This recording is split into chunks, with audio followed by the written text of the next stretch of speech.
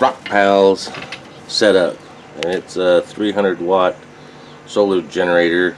And today I'm really trying to test it out.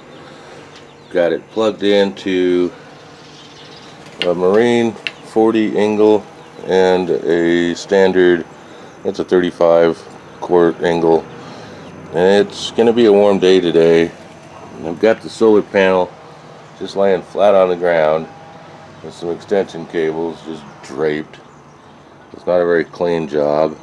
Just want to see if this solar generator would keep these two refrigerators running during the day and whether this battery in the generator will keep the refrigerators running all night leaving the panel out until the sun comes up tomorrow see how much power there's left in the solar generator battery and whether it'll work.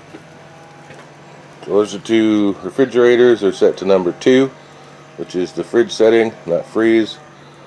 There's the generator there's the cords and there's the 100 watt panel just laying flat on the grass. And it's 1 o'clock. Still at 12.6 volts.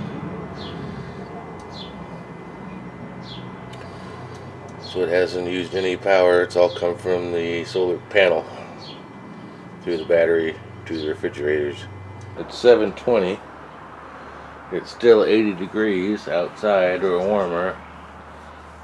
Don't have any sun going to the solar panel.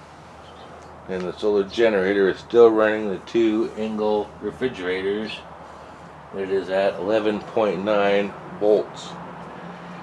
The rest at 12.6 if you can see that or not and the Engels are at 33 degrees.